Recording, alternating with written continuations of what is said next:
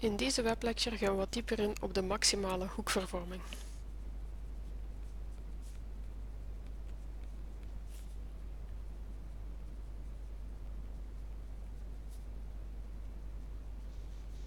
Eerder al hadden we de waarde van de hoekvervorming afgeleid.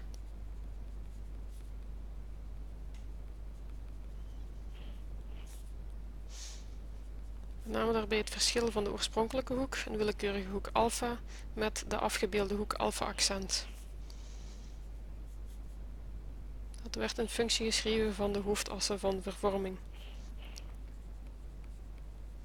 Nu, afhankelijk van de richting van alpha zal die hoekvervorming groter of kleiner zijn. En vaak is men geïnteresseerd in een bepaalde projectie, wanneer is deze hoekvervorming maximaal. Nu, wanneer is deze vergelijking maximaal?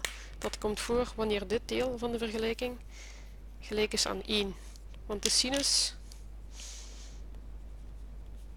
heeft als minimale waarde 0 en als maximale waarde 1. Dus de hoekvervorming is maximaal als de sinus gelijk is aan 1.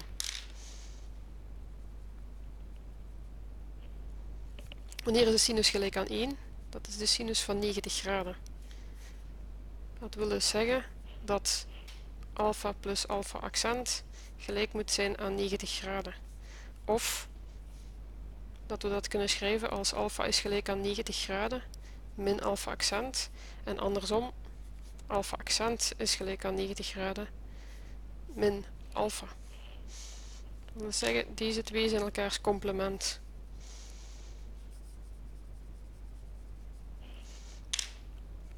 Als we een rechte hoek hebben van 90 graden, als dit hier alpha is, dan is dit hier alpha accent. Samen zijn ze 90 graden. Nu bij afspraak wordt de maximale hoekvervorming geschreven als 2 omega.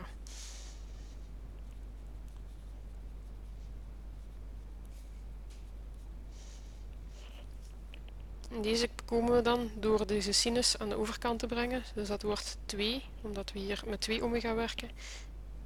Arcsinus van a min b gedeeld door a plus b. Nu, naast deze hoekvervorming te berekenen zijn we ook geïnteresseerd wat de richting is van die maximale hoekvervorming. Deze kunnen we berekenen uit een formule die we al eerder hadden afgeleid, namelijk de berekening van een afgebeelde hoek alpha accent uitgaande van de hoofdassen van vervorming en de waarde van de oorspronkelijke willekeurige hoek. Nu dit kunnen we ook omgekeerd schrijven in functie van alpha.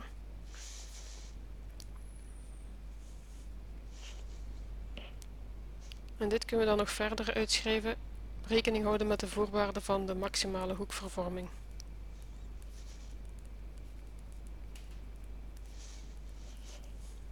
Dus deze alpha accent hebben we geschreven als 90 graden min alpha. En dit komt eigenlijk overeen als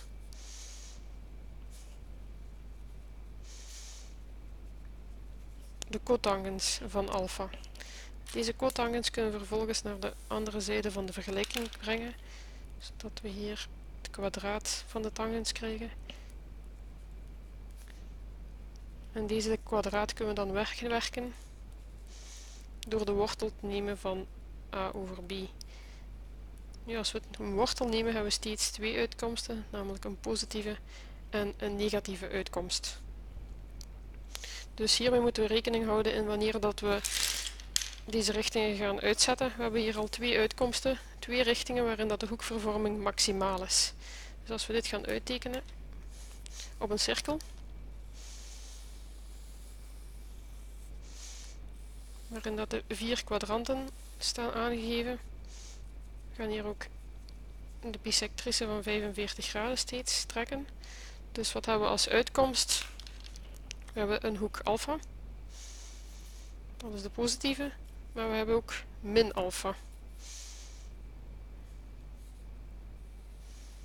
Dus dit is alfa dit is min alfa. Dat zijn twee richtingen waarin dat de hoekvervorming maximaal is.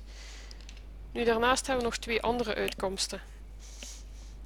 Aangezien dat de tangens periodiek is.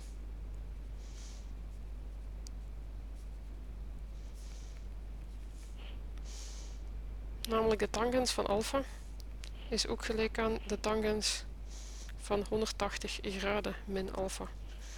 Dat wil zeggen 180 graden min alpha. Dat is deze hoek hier. En dan hebben we deze hoek hier die we gaan afbeelden. Dat is dan 180 graden min, min alpha. Nu deze hoek gaat afgebeeld worden op alpha accent en volgens uh, het voorwaarde van maximale hoekvervorming is dat onder het complement. Dat wil zeggen als dit alpha is, is deze hoek hier alpha accent. Dus deze hoek moeten we hier uitzetten. Dan is dit hier alpha accent. Dan hetzelfde hier. Deze hoek hier uitzetten. Dan is dit hier min alpha accent. Deze hoek hier uitzetten.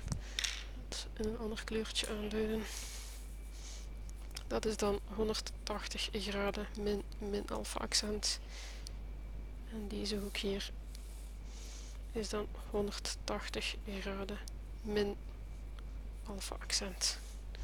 Dus dit zijn steeds de afgebeelde hoeken. Hierbij is het heel belangrijk om op te merken dat we weten dat a, de grote hoofdas, altijd groter of gelijk aan is aan b. Dat wil zeggen, als a gelijk is aan b, dan is de tangens van alpha gelijk aan 1. En de tangens van alpha is gelijk aan 1 indien alpha gelijk is aan 45 graden.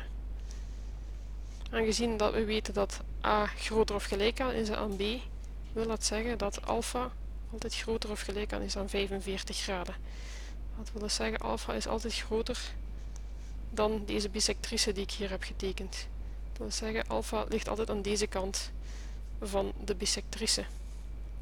En de afgebeelde hoek ligt dus altijd aan deze kant van de bisectrice. Wil zeggen, je krijgt dus altijd een afbeelding van alpha accent als een spiegeling over deze bisectrice, aangezien het een complement is. We zeggen alpha accent wordt altijd afgebeeld naar de x-as toe over een spiegeling rond deze bisectrice van 45 graden.